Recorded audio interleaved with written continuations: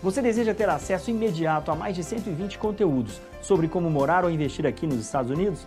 Então acesse agora a nossa área de membros aqui no canal do YouTube da TV Flórida e se inscreva. Você tem acesso imediato. Para você que é patriota, seja muito bem-vindo. Esperamos você no nosso canal de membros aqui no TV Flórida Premium. É como eu disse no primeiro vídeo de hoje, pessoal. O impeachment do ladrão tá ali dobrando a esquina. A gente tem que acreditar e tem que fazer a nossa parte. Um detalhe que eu esqueci de compartilhar com vocês mais cedo. Caso o ladrão e o chuchu caiam, quem assume durante um curto período de tempo, mas assume a presidência, é o Arthur Lira. Portanto, ele quer muito que isso aconteça. E uma novidade de hoje. Ele foi questionado a respeito da PEC que limita poderes do STF e garantiu que não irá travá-la. Tá? Os sinais estão por todos os lados. Agora, vamos fazer a nossa parte. O que é isso? Desgastar o desgoverno. A mesma coisa que fizeram contra o Bolsonaro durante quatro anos, com uma diferença muito grande, por sinal. Eles fizeram isso com mentiras. E a gente faz com a verdade, trazendo fatos. E falando em fatos, temos um novo gravíssimo. Não sei quantas levas de estrangeiros já deixaram a faixa de Gaza e nenhum brasileiro. Vocês sabem por quê? Fortíssima suspeita de que um certo desgoverno estaria infiltrando ali pessoas né, que não eram exatamente brasileiras, né? É, e vocês sabem de quem que eu estou falando. Gente, se isso aí for verdade, se confirmar, vai ser uma bomba nuclear que eu vou passar um ano rindo, tá? E aí não tem quem segure. Esse é o nosso tema principal de hoje. É, mas antes, vamos lá. Vamos aos subtemas. O primeiro, essa notícia que está aí no canto da tela. Né? O número 2 do Ventralb no Ministério da Educação entrou para o Ministério dos Esportes do governo Lula. A primeira impressão que a gente tem é a seguinte: pô, tá vendo aí o Ventralb, né? já está aí se metendo no governo do ladrão. Só que, na minha opinião, né, o que está de fato por trás disso aí, dessa notícia, é mais grave ainda. Porque o papo do, do, do Ventraba é o seguinte: o Bolsonaro entregou né, o Brasil para o Centrão, ele nunca foi direita, ele é do Centrão, Centrão para cá, Centrão para lá. Este cara, que agora entra no ministério do André Fufuca, né, que é do Centrão, do partido do Arthur Lira, estava no ministério dele por indicação do Arthur Lira. Então ele que passava o tempo inteiro criticando Jair Bolsonaro, centrão, centrão, centrão, colocou um cara do centrão por livre e espontânea vontade na portinha ao lado. O braço direito dele era do centrão. Então essa movimentação desse cara entrar agora em um ministério que também é, é do centrão, é do PP, do partido do Arthur Lira, isso é normal. Né? Isso é normal. O anormal é o cara que criticava o Jair Bolsonaro por supostamente se vender ao Centrão, colocando um cara do Centrão ali para auxiliá-lo diretamente. Né? É, vamos lá, pessoal, vamos falar agora do Benedito Gonçalves, né, do TSE. O missão dada é missão cumprida, porque ele tornou o Bolsonaro inelegível pela terceira vez. O que ele quer? Ele quer pedir música é, no Fantástico? Na minha opinião, tudo que ele fez é, após, primeiro, tomar os tapinhas no rosto e depois aquela frase, missão dada é missão cumprida, nada daquilo tem validade. Se anularam tudo contra o Lula pela suspeição do Sérgio Moro, gente, o que esse cara faz é um milhão de vezes pior. Não tô nem falando do Xandão, tô falando do Benedito Gonçalves. Foi indicado pelo Lula. Missão dada é missão cumprida. Né? Tapinha no rosto, estilo Al Capone. Vocês querem mais o quê? Né? Aí, terceira inelegibilidade do Bolsonaro, que não faz diferença nenhuma. Não faz diferença nenhuma. Né? Nem levam a sério mais o que ele está fazendo.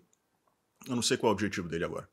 Né? Essa agora foi questão do, do, do, do Dia da Independência. Ah, não, isso aí foi uso político das datas. Você celebrar uma data como 7 de setembro agora é uso político.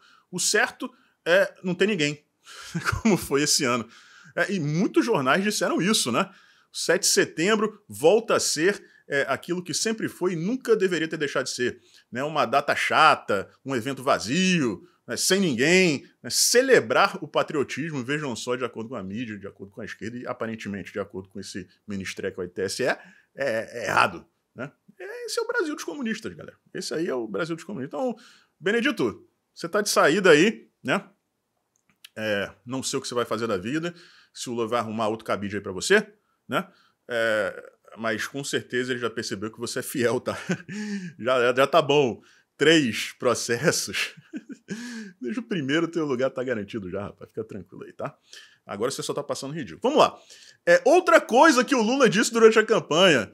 Ah, os brasileiros pobres vão voltar a andar de avião. Né? Ele já falava isso lá atrás. Não, porque os ricos, né, a classe média também, não se sente confortável de chegar no, no aeroporto e ver os pobres andando de avião, pobre andando de avião, sentando do lado, com dignidade, deixando de viajar de ônibus, de passar perrengue.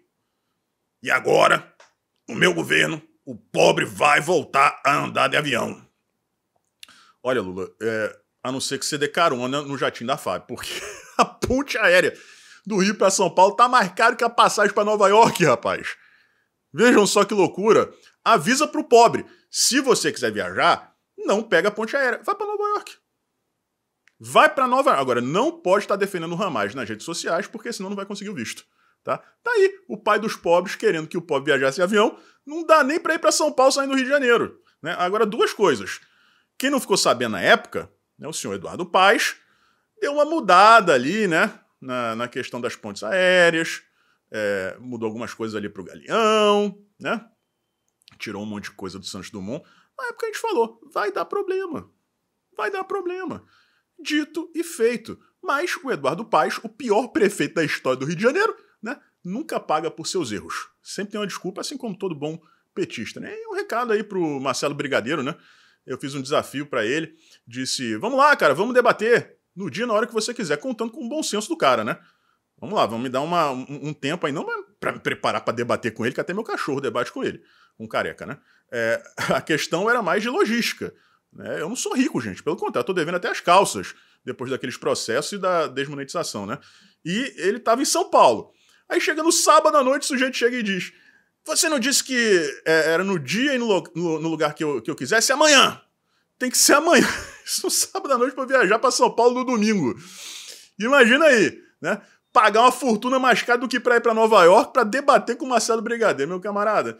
Você não quis o debate, beleza, né? Já vi que você só quer fanfarronar. Tá tranquilo, tá perdoado, beijinho. Tá tudo de boa, tá? Fica, fica tranquilo. Fica tranquilo. Todo mundo já percebeu. Não adianta você dizer que eu sou frouxo, né? Você dificultou, fez tudo para dificultar, para depois dizer que foi eu que desisti. Assim como você apanha nos debates pra caramba, depois sai dizendo que ganhou. Petista jogando xadrez, né? Caga no tabuleiro e depois sai de peito estufado. É isso aí. Beleza, obrigado. Então vamos lá, galera. Vamos para Nova York. Não vamos para São Paulo, não, saindo do Rio de Janeiro. Vamos lá. É, agora chegamos aqui ao nosso tema principal de hoje, tá, pessoal? É, a questão mais importante aqui é o, os brasileiros que estão em Gaza. São poucos, mas temos brasileiros por lá tá? É, mas a gente vai introduzir aqui o tema Israel com duas outras notícias. A primeira é a seguinte. Vocês se lembram que pouco tempo atrás o Lula ligou para um, um, um, cidadão chamado Mahmoud Abbas? Lembram disso? Eu acho que a pronúncia é essa, Mahmoud Abbas. Né? Eu acho que é assim que os árabes falam. É, ele que é o líder do Fatah, que em tese é um grupo rival do Hamas na Palestina. Tá? Ele é o atual presidente da autoridade Palestina. Só que houve uma eleição, eleição né? É, que foi muito divulgada, mundo, mundo afora, né? Uma eleição democrática. Vocês imaginam se o Hamas deixa que alguma eleição seja democrática. Mas para dar ares de democracia foi feita essa eleição e, obviamente, o Hamas ganhou em parceria. Eles fizeram é, é, as pazes, né? O Fatah e o Hamas em 2021 para promover é, essas eleições aí. Quando chega hoje, aliás, poucos dias atrás, o Mahmoud Abbas disse que o Hamas não representava a Palestina, né? Esse papinho aí que esquerdista adora propagar, né? É, e aí o Hamas teria dado um prazo ao Mahmoud para que ele declarasse guerra contra Israel. Aparentemente, o Mahmoud não declarou a guerra e hoje ele estava numa, numa comitiva e houve um ataque, supostamente, tá? Supostamente, existem algumas imagens é, de um ataque no que teria sido uma tentativa de matar o cara, o abaixo, o amigo do Lula, tá? Se vocês me perguntarem, não existe confirmação ainda, né? A, notícia está aí em, em, vários portais, é, os principais portais da, da Europa. Não encontrei nada aqui no Brasil no momento que eu estava começando a gravar ainda, né? Mas neste momento que vocês estão assistindo, se procurarem, provavelmente já vão encontrar alguma notícia. É, agora eu me dou o direito de desconfiar de uma armação, tá? justamente para fazer essa separação entre a autoridade palestina e Hamas. Eu, sinceramente, não acredito que exista esse atrito entre essas partes. Tá? Mas vamos supor que exista. Isso, por incrível que pareça, é pior para a esquerda. Porque agora eles teriam, seriam obrigados né, a admitir que o Hamas é um grupo terrorista. Eles não vivem dizendo, não, é um grupo de libertação, mas como assim? Estão tentando matar o cara que é o líder da autoridade palestina? Como é um grupo de libertação? Estão tentando libertar a Palestina da Palestina? Do líder da autoridade palestina? É isso, tá? Mas repetindo aqui, na minha opinião, isso é teatrinho, né? obviamente. É, se confirmado o ataque, eu não tenho problema nenhum em chegar aqui e dizer, não, realmente foi confirmado, tá, pessoal? Não era teatrinho. Mas, por enquanto, pelo menos até o momento em que eu estou gravando isso aqui, né? Nada. Falando em Hamas, um dos líderes do grupo, vejam só que insanidade. Tá? E essa notícia é da BBC que a gente sabe que vem né, veiculando aí é, informações colhidas justamente do Hamas. O Ministério da Saúde comandado pelo Hamas, né, não sei qual órgão comandado pelo Hamas, de acordo com sei lá quem, ligado ao Hamas. Agora, eles vêm com essa notícia de que um dos líderes do grupo nega as mortes de civis israelenses é, naqueles primeiros dias nos ataques originais é, no dia 7 de outubro. Veja só que loucura, gente. A maioria das imagens é, é, foi feita justamente pelos soldados do Hamas. Body cams, né, as câmeras de lapela do, do, dos terroristas. Os próprios terroristas estavam soltando essas imagens na, na, nas redes sociais, na internet. Aí o cara, um dos líderes do Hamas, vai lá e nega tudo isso. Não, não, isso aí não tem nada a ver, não. Isso aí eu, eu nego. Não teve ataque nenhum a, a, a, civis, não, a crianças, a mulheres. Que loucura, nada a ver, não. É, aquelas imagens dos bebês decapitados, aquilo ali não existe. Tá? É um filme do Steven Spielberg. Né? A, a, a cena da garota de 19 anos saindo do porta-malas toda ensanguentada, com certeza violentada. Não, aquilo ali não aconteceu. É um filme do Chuck Norris. Esse é o nível de cinismo dessa turma que, infelizmente, a esquerda idolatra ainda leva a sério. Leva em consideração informações do Hamas. Aí você chega e fala, porra, você tá de sacanagem que você vai levar em consideração a informação de um grupo terrorista. Ah, mas se não for deles, é do Estado de Israel a informação. Pô, vejam só o nível. Comparam Israel com um grupo terrorista. É a distorção total da, da, da escala de moralidade. Mas a esquerda é isso, não deveria surpreender ninguém. Agora, a grande bomba aqui é a seguinte, tá? A última leva de estrangeiros que deixou Gaza tinha 600 pessoas. 600 pessoas. Nem sei que leva é essa, se é a quinta, a sexta, a sétima, a oitava ou a milésima. Nenhuma delas teve brasileiro. Por que isso está acontecendo? Ah, é porque o Lula contrariou Israel. Quem faz esse controle, né, primariamente, é o Hamas. Existe uma negociação posterior entre o Hamas, Israel o Estado palestino, e tudo isso é mediado pelo Catar. Aquele país, né, riquíssimo, uma ditadura monarquista, absolutista, que não só financia o Hamas, como abriga os seus líderes. E mesmo assim, todos os aliados do PT não estão conseguindo, né? O, o, a diplomacia do Lula não está conseguindo tirar nenhum brasileiro de lá. Então não adianta colocar a culpa em Israel. Não adianta. Isso é incompetência. Aí chega o Celso Amorim e né, sobe na, nas tamancas e diz: a gente não vai aceitar mais isso. Né? É, é, o limite. Essa leva é o limite. Você vai fazer o quê, Celso Amorim? Você escreveu a orelha de um livro do Ramais. Se existe uma pessoa indicada para negociar com o Hamas a liberação dos brasileiros, essa pessoa é você. Ou então chama o Said Tenório, aquele cara que representava, era o lobista do, do Hezbollah e do governo do Irã no Brasil para de fingir que a culpa é de Israel, porque não é. Não é. Agora, o que se comenta, e vejam só, pessoal, como eu estou falando isso, tá? Vejam bem como eu estou falando isso. É um rumor, é um rumor fortíssimo, mas é um rumor até o momento, é, que já está circulando há alguns bons dias. Foi de que é, os nomes na lista do governo brasileiro tinham pessoas do Hamas. Tentando escapar junto com os brasileiros. E isso teria sido o pivô do travamento da saída dos brasileiros. Tá?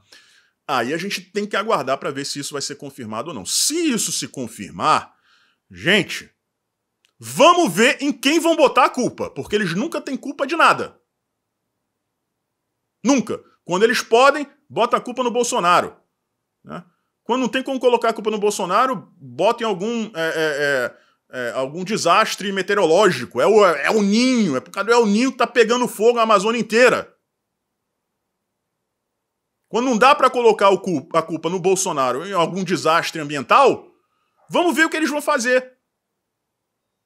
Tentaram colocar, se isso for verdade, tentaram colocar terrorista do Hamas dentro da lista de brasileiros para trazer para cá. Quem fez isso? Vão colocar a culpa no Gilmazinho de lá? Vão colocar a culpa no Hamas? Será que os brasileiros que estavam lá tentando intermediar isso aí, trazer os brasileiros, embarcar essas pessoas no avião, não consegue identificar quem é do Hamas e quem é brasileiro? Mesma coisa que eu falei em relação ao atentado, ao suposto atentado. Se o atentado for confirmado, não tem problema nenhum, chega aqui e fala para você, realmente foi o atentado, tá? Vale o mesmo para isso aqui. Se for comprovado que não aconteceu isso, gente, eu sou o primeiro a chegar aqui e dizer, olha só, gente, aquilo, aquele rumor não foi confirmado, tá? Agora, se confirmar, me aguardem. Se confirmar, me aguardem. Porque não vai ter quem segure aquele ladrão no Planalto. Não vão conseguir colocar a culpa em ninguém, não. Chega de terceirizar a culpa de tudo. Tá? É isso. Compartilhe esse vídeo com o maior número possível de pessoas, tá, pessoal? É isso aí. Um forte abraço, a gente se vê por aí.